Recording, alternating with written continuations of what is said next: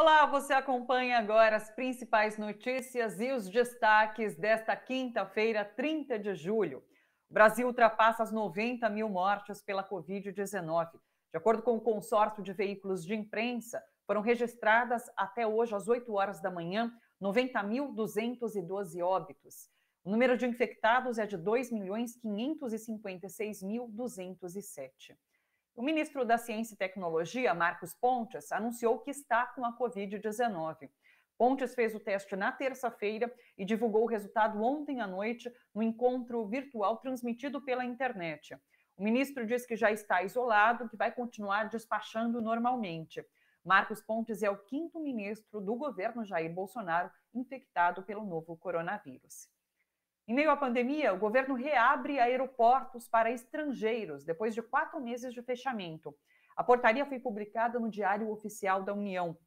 No entanto, continuam fechados os aeroportos de Mato Grosso do Sul, Rondônia, Paraíba, Rio Grande do Sul e Tocantins. O decreto não explica o motivo dessas exceções. As fronteiras terrestres continuam fechadas. A Justiça Federal aceita a denúncia e José Serra se torna réu no processo que apura a lavagem de dinheiro. Além do senador, a filha dele, Verônica Serra, também foi denunciada e se tornou ré nesse processo. O ministro do STF, Dias Toffoli, defendeu o aumento da quarentena para magistrados que abandonarem a carreira para entrar na política. O ministro do Supremo Tribunal Federal defendeu a tese durante um julgamento no Conselho Nacional de Justiça. Vamos dar uma olhada.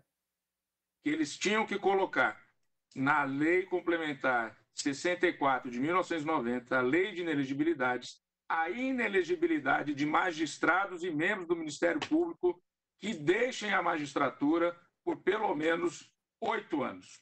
Porque a imprensa começa a incensar determinado magistrado e ele já se vê candidato a presidente da República, sem nem conhecer o Brasil,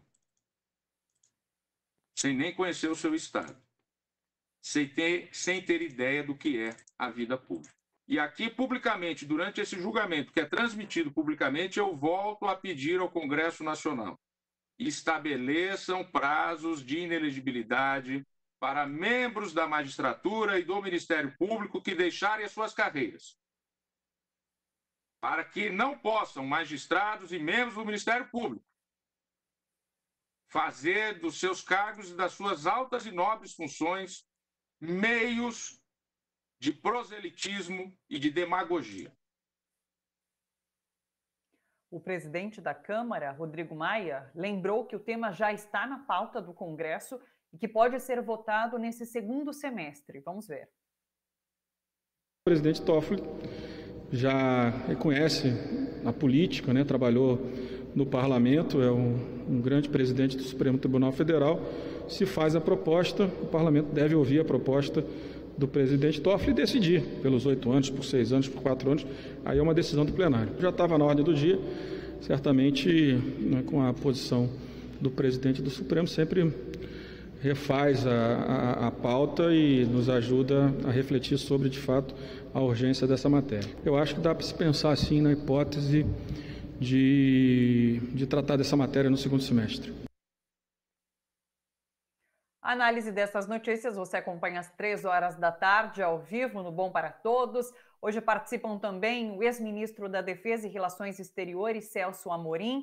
A gente também vai estar com a pesquisadora na área de turismo, a Mariana Aldrigue. E recebemos o psicanalista e escritor Christian Dunker. Está imperdível. Eu te espero. Até lá. Tchau, tchau.